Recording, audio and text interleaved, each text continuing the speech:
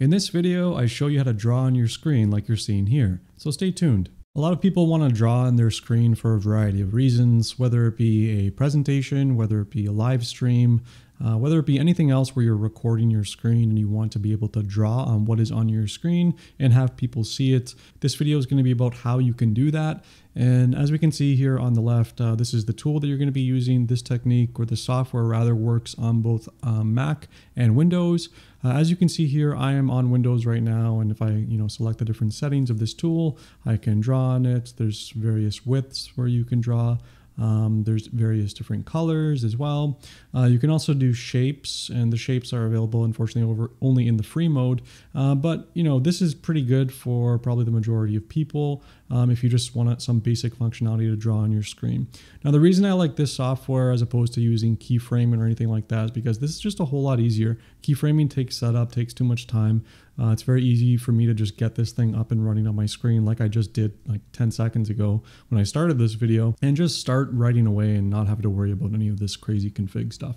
Um, so that's kind of what uh, this, this video is about. Um, so right now I'm just going to disable this. And so this this tool thing is, is sticky, so you can move this around like off screen or you know whatever you want to do with it. Um, but if you do want to close it, then you need to go to the bottom and just close it out and then it disappears off your screen.